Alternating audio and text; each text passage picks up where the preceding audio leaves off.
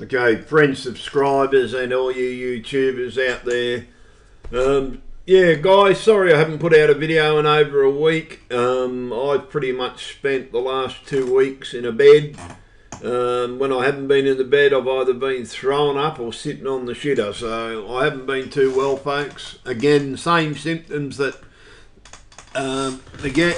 And it pretty much every single time we get a major shift, something major happening, um, this is happening to me and it's just starting to piss me right off, folks. I've been real crook. This time I've been very, very sick.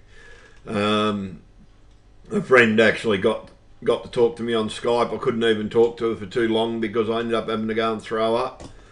But no, guys, I'm still alive. I'm still here, and um, I'm planning a video. I have actually been planning one.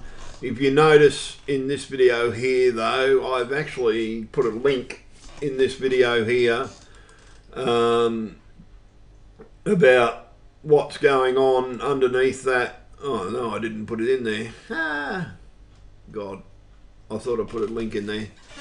But it's actually happening now. Um, you've only got to do a bit of research and find it. I, I well, I was pretty sure I put that link in that video. Oh, hang on, there it is there. I'll copy it and I'll paste it up there. Um, but I, um, yeah, I, I'm still not well now, folks. I'm barely able to hold food down, and um, the only time I've left the house is either to buy dog food for me dogs or go and get a script at the chemist. And that's pretty much been, been about it, folks. And I'm pretty sorry that I haven't been able to do anything on it.